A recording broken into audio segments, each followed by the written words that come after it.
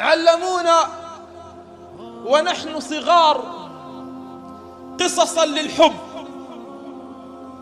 وخلدوا هذه القصص في ذاكرتنا وفي قلوبنا. فما صار الواحد منا إذا ما ذكر الحب ذكر قصص العاشقين والعاشقات. إذا ما ذكر الحب ذكر أشعار وأبيات قيس وليلى الذي قال إني تبت إليك يا رحمن من كل ذنب أما عن هوى ليلى فإني لا أتوب. تبت إليك يا رحمن من كل ذنب أما عن هوى ليلى فإني لا أتوب. علمونا إياه في اللغة العربية. وعلمونا ذلك ونحن صغار في المدارس تلك القصائد. حتى بات الواحد منا لا يحفظ إلا قصائد قيس وليلى. هل هذا الحب؟ تعالوا بنا اليوم لنسرد أعظم قصة ذكرها التاريخ. ما عرف الأدباء؟ ما عرف العلماء؟ ما سجل التاريخ قصة حب كقصة هذه الحب؟ تعالوا بنا. لنسرد هذه القصة حتى تعرف أين هو الحب الحقيقي. هل هذا الحب الذي تربينا عليه ونحن صغار أم قصة حب لامرأة كانت ثرية غنية مقتدرة ماديا ذات حسب ونسب تتقدم بنفسها لخطبة رجل. تتقدم بنفسها لخطبة رجل ترسل هذه المرأة إحدى صاحباتها إلى من؟ إلى رسول الله صلى الله عليه وسلم تريد ماذا؟ تريد خطبة النبي صلى الله عليه وسلم وهذا متى؟ هذا قبل بعثة النبي صلى الله عليه وسلم فتقدمت هي بنفسها لخطبة رسول الله صلى الله عليه وسلم إنها من؟ إنها من؟ إنها خديجة وما أدراكم ما خديجة فتقدم لها النبي صلى الله عليه وسلم وهو ابن خمسة وعشرين سنة وهي بنت من؟ وهي بنت أربعين سنة هو ابن خمسة وعشرين سنة وخديجة بنت أربعين سنة رضي الله عنها. لما نزل الوحي على رسول الله صلى الله عليه وسلم عاد النبي إلى بيته يرتجف ويرتعش وهو ينادي زملوني زملوني دتروني دتروني. أحبتي لما جاء الوحي إلى رسول الله وأصبح يرتجف ويرتعش. إلى أين كان ملاده؟ إلى أين فر رسول الله؟ على باب من وقف وهو يقول زملوني زملوني. دتروني دتروني. جاء إلى خديجة. حتى تعلم أن هذه أعظم قصة حب في التاريخ. فماذا صنعت خديجة؟ قالت ما ذاك؟ يا محمد. قال جاءني كذا وكذا وحدثها بالقصة. انظروا ماذا قالت له.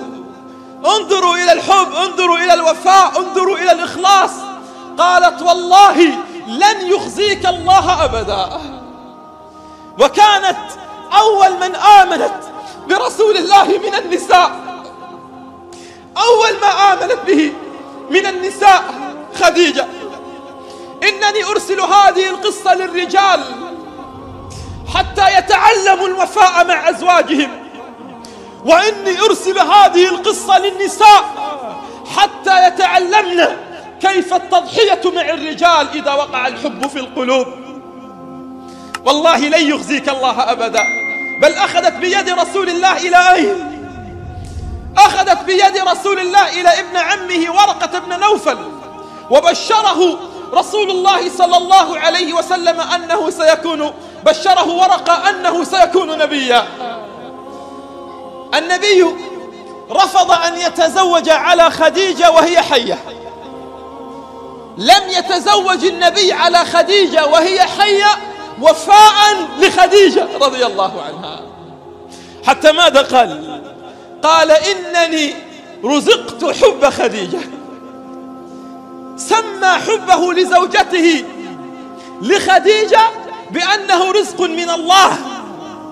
هذه قصص الحب التي لا بد أن تتلى. ليس الغرام الذي نسمعه ليس الغزل الذي نسمعه بل والله إنه ليس هذا الحب الذي وقع اليوم في زماننا. حب المظاهر حب المظاهر وحب المال. حتى كل يوم ماذا كل يوم؟ بل سرت والله كل ساعة وكل دقيقة تسمع عن حالات الطلاق. فلان طلق فلانة وفلانة عادت مطلقة من عند فلان. تعالوا وتعلموا. بعدما فتح النبي صلى الله عليه وسلم مكة وعاد بجيشه فاتحا أمام قادة قريش وإذا بامرأة عجوز تقبل على النبي صلى الله عليه وسلم فجاءها النبي يجري يركض النبي إليها ركضا فخلع النبي رداه وفرشه لهذه المرأة العجوز وأجلسها عليه ثم جلس يتحدث معها فنظرت عائشة لما انتهى قالت يا رسول الله من المرأة التي جلست معها؟ قال إنها صاحبة خديجة. قال إنها صاحبة خديجة. قال وماذا أصررت لها؟ يعني ماذا قلت لها؟ قال يا عائشة لقد تذكرنا أيام خديجة. كنا نتكلم عن أيام خديجة. حينها غارت أم المؤمنين. غارت أم المؤمنين عائشة رضي الله عنها. قالت يا رسول الله خديجة خديجة أو ما لك غير خديجة؟ عجوز من عجائز قريش قد أبدلك الله خيرا منها. لكن انظروا انظروا إلى الوفاء. اليوم الرجل لا يكون وفيا مع زوجته وهي حية فما بالك لو ماتت؟ لا يكون مخلصا مع زوجته وهي على قيد الحياة. فما بالك لو ماتت؟ فغضب النبي حتى قالت خدي حتى قالت عائشة والله والله دعوت الله أن يطفئ الغضب من وجه رسول الله حتى لا أتكلم معه عن خديجة بعد اليوم. أنا فقط أنتظر الغضب يطفأ ووالله لن أذكر له خديجة بعد اليوم. قال يا عائشة والله والله والله ما أبدلني الله خيرا من خديجة. خير متاع الدنيا الزوجة الصالحة. خير متاع الدنيا الزوجة الصالحة. زينب هي البنت الكبرى لرسول الله صلى الله عليه وسلم. يدخل إليها أبي العاص ابن الربيع. ويطلب من النبي أن يتقدم إليها كي يتزوجها. فقال النبي صلى الله عليه وسلم أستأذنها؟ فإن أذنت أزوجك إياها. اسمع.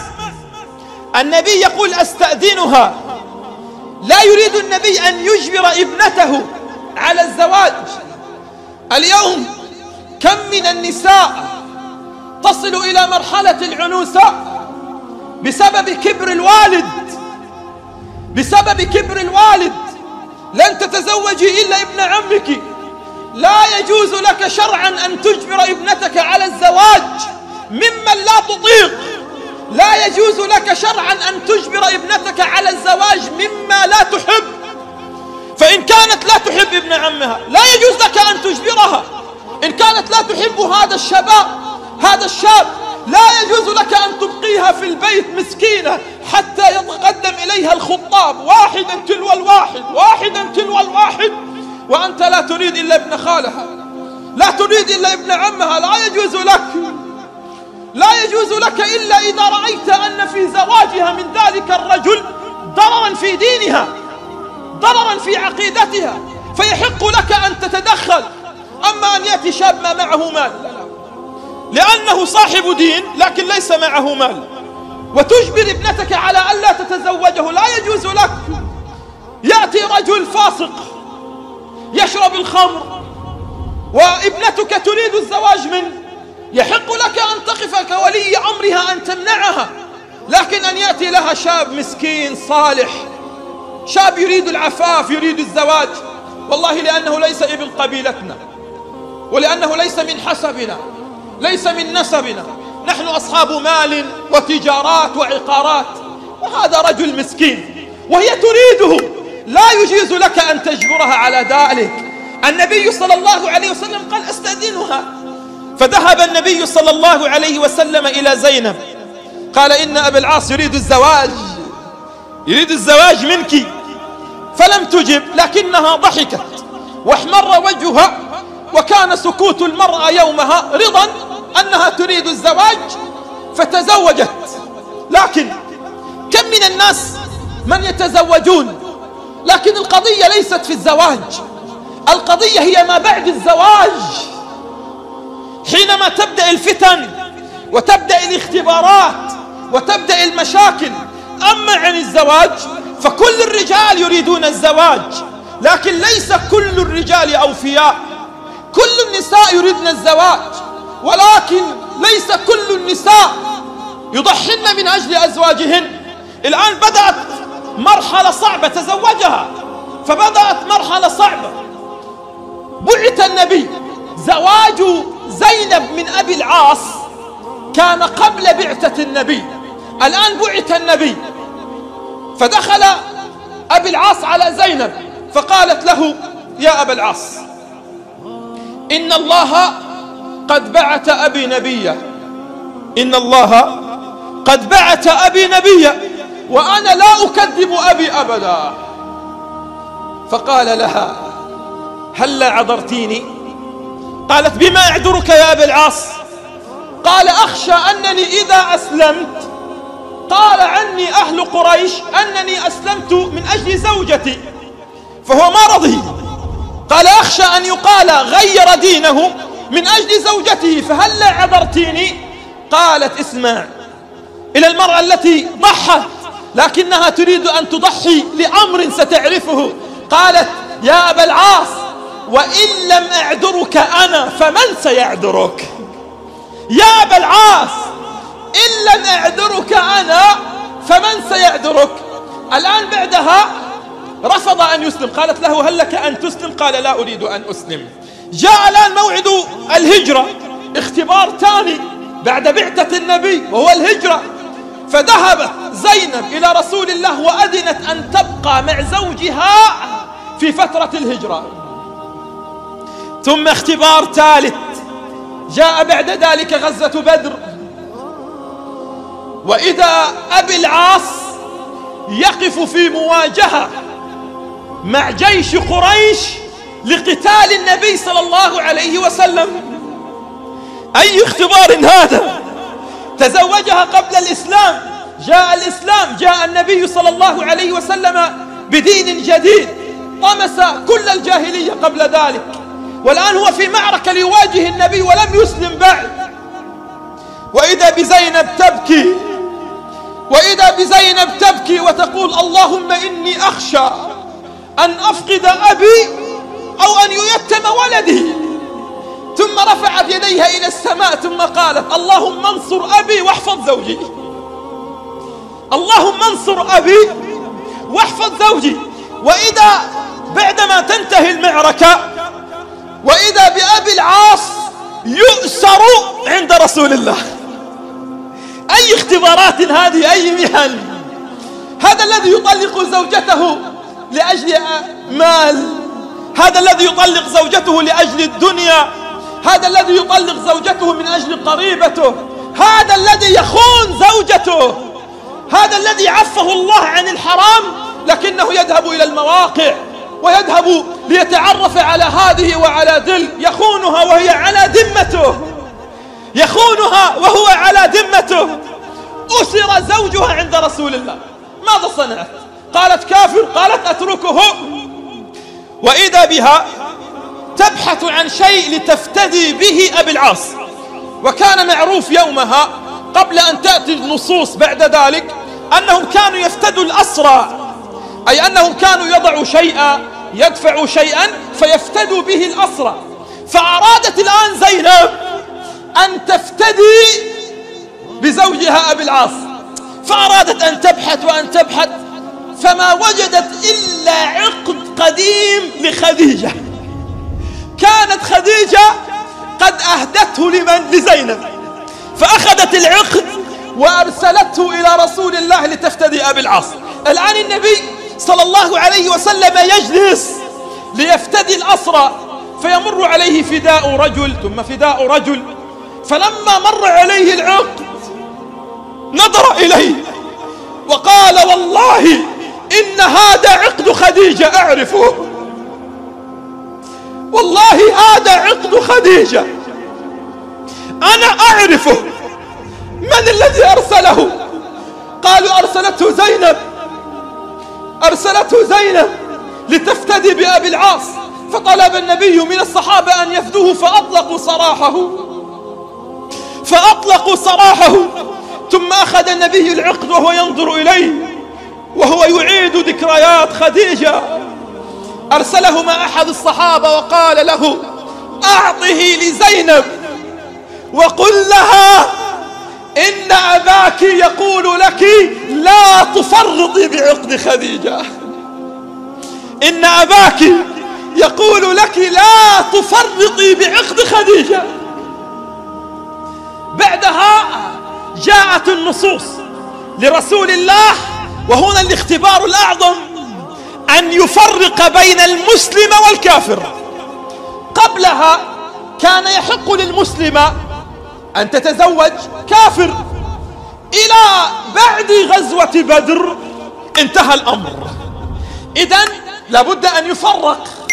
وإذا كان الأمر من الله فلابد أن يطبق في بيت النبي قبل البيوت التي بعدها. حتى ولو كان زوج البنت الكبرى لرسول الله. قال يا أبا العاص إني أريد أن أحادثك. قال يا أبا العاص إن الله قد أمرني أن أفرق بين المسلم والكافر. فهل لا رددت علي ابنتي؟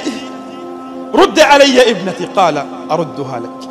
فعاد أبي العاص إلى زينب. قال يا زينب أريد منك الرحيل. إلى بيت والدك رسول الله. قالت وما ذاك يا أبا العاص؟ قال يا زينب إن الله قد أمر نبيك أن يفرق بين المسلم والكافر. فقالت له يا أبا العاص هلا أسلمت؟ ما زالت تحاول معه. تخيل معي عشرين سنة صابرة. صابرة على أمل أن يسلم. عشرين سنة صابرة مع كافر.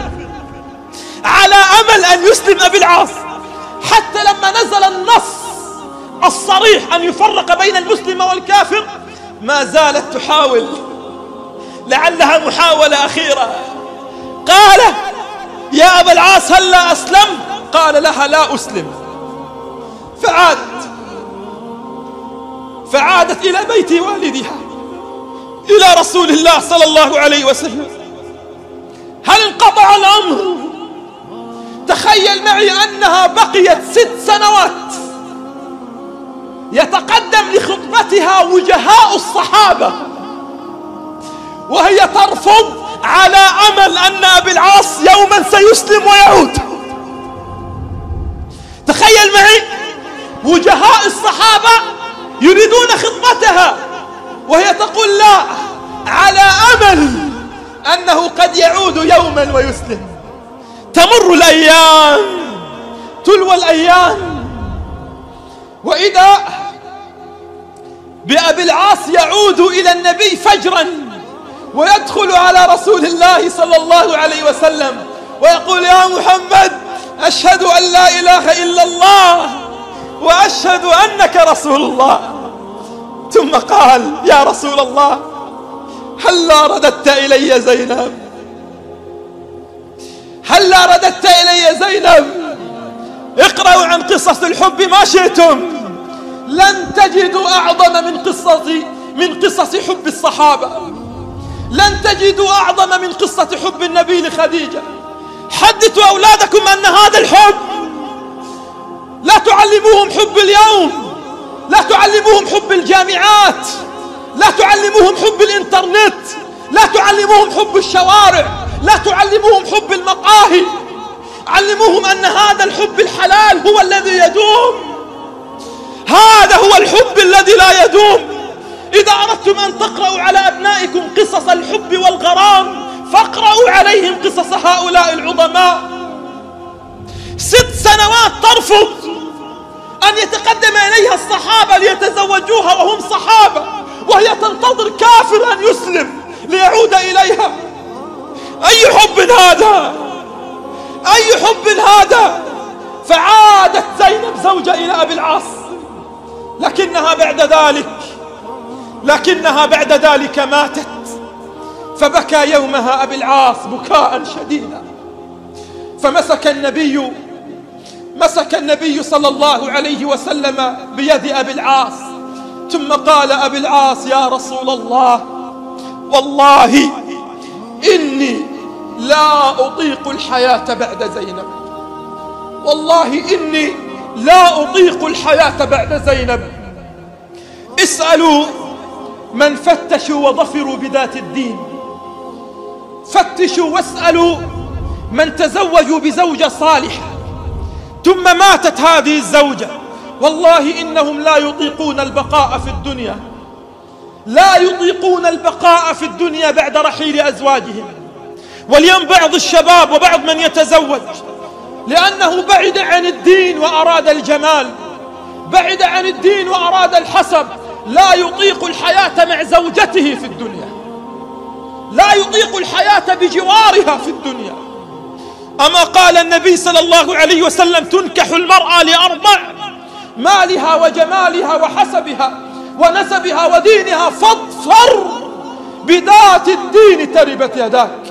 تخيل معي أن رسول الله استخدم أعظم تعبير في اللغة العربية. قال فاظفر أي من الظفر. كالذي يريد أن ينحت في الصخر. كالذي يريد أن ينحت في الصخر. فهذه وصية أختم بها للمقبلين على الزواج. ولمن أرادوا أو من يعتقدون أن الزواج يأتي عبر القصائد وعبر الغزل وعبر الحب وعبر الغرام وعبر الإنترنت. كذبوا عليك والله. كذبوا عليك والله. خدعوك فقالوا والله إن الزواج لا يأتي إلا حينما يكون زواج مواقف. زواج مواقف كما موقف رسول الله. وكما مواقف أصحاب رسول الله صلى الله عليه وسلم. وصيتي إلى الشباب اظفروا بذات الدين حتى لا تندموا في الدنيا وفي الآخرة. ووصيتي إلى الآباء حنانيكم حنانيكم حنانيكم حنانيكم كما تبحثوا لأبنائكم عن زوجات صالحات. ابحثوا لبناتكم عن أزواج صالحين. الواحد منا إذا أراد أن يزوج ولده ماذا يقول؟ يصنع المستحيل ويقلب الدنيا رأسا على عقب لأنه يريد زوجة صالحة لولده. لكن إذا كان الأمر يتعلق ببنته الأصل والله أن تبرز الجهد الأكبر في أن تبحث لابنتك أكثر مما تبحث لولدك أكثر مما تبحث لولدك فإن أتاك شاب صالح أمرك النبي فاظفر بذات الدين تربت يداك. ما زال الناس حتى اليوم ولا أقول كل الناس لأننا وصلنا إلى درجة من الوعي كبيرة. والشباب اليوم يدركون هذا الوعي وهذه الثقافة التي غيروا فيها مجرى حياتهم. ولكن ما زال بعض الشباب غارق في تيهه وما زال حتى اليوم غارقا في شهواته وفي ظنونه. ويأتي اليوم من رجال من من رجال أمة محمد صلى الله عليه وسلم ليحلون لنا عيدا جديدا ليحلون لنا عيدا أسموه بأنه عيد الحب. ووالله إنه ليس له علاقة بالحب. إذا كان النصارى وإذا كان المشركين يحتفلون بهذا اليوم إن كانوا بسموه يوم الزنا أو يوم إنقاذ الشرف فالمسميات في ذلك كثيرة والأحاديث والقصص التي وردت في ذلك كثيرة. ولكن نحن نأخذها من باب الحكم فنحن لا نمتلك إلا عيدين. وما أمرنا النبي صلى الله عليه وسلم إلا أن نحتكم بعيدين. وهي أعيادنا. نحن من نقول لا إله إلا الله محمد رسول الله وهو عيد الفطر وعيد الأضحى. لكن أحبتي هذا الحكم. ولكن لعل سائلا يسأل وأختم. لعل سائلا يسأل ما الحب؟ هل هذا الحب الذي نراه في زماننا اليوم يسمى حب؟ فالحب الحقيقي هو ألا يأتي الشباب من النوافذ. من يأتي من النافذة هم الصارقون. من يأتي إلى البيوت من النوافذ هم الصارقون. ولكن من يأتي البيوت من أبوابها هم الرجال. الحب الحقيقي أين يكمن؟ الحب الحقيقي يكمن عند شاب علم أن طريق الحب هو طريق الحال وليس على الله محال. ولو ضاق به الحال فعمل في النهار تحت أشعة الشمس الحارقة ليكون وفيا للحلال فأعانه الله. الحب أين الحب خلف الشاشات؟ الحب عبر الهواتف؟ الحب أن تكون وفيا والوفاء لا يكون؟ إلا أن تكون رجلا تحب لمن تريد كما تحب لأختك. ولا بد أن تأتي الباب الذي تحب أن يأتي الناس لأختك منه لا بد أن تدق نفس الباب الذي تريد من الناس أن يدقوا الباب من أجل الزواج من أختك. الحب عند من؟ الحب عند رجال فهموا معنى الحب. وفهموا أنه لو طالت السنين فأنا لا أريد إلا الحلال. تريد الوفاء في الحب تريد الإخلاص في الحب. الوفاء والإخلاص هو أن تدق باب البيت وأن تعرق وأن تتعب. حتى لو استمر الأمر سنوات وسنوات لكن كن وفيا وكن مخلصا. واعلم أنك إذا تركت باب الحرام سيعينك الله على الحلال. سيعينك الله على الحلال. فجزى الله من الشباب من سجلوا حضورهم في هذا اليوم. جزى الله من سجلوا حضورهم في هذا اليوم. وعلموا أن الحب هو ليس حب الشاشات وإنما هو الحب حب الرجال الذين علموا أن معنى الرجولة أن آتي بمن أحب زوجا وليس لاعبا بمشاعر النساء. أن آتي بمن أحب زوجا وليس متلاعبا بمشاعر الفتيات على المواقع وعلى غيرها. فعذرا نحن لا نمتلك إلا عيدين. نحن لا نمتلك إلا فرحتين. وإذا كان هناك فرحة ثالثة فهي تحرير فلسطين إن شاء الله.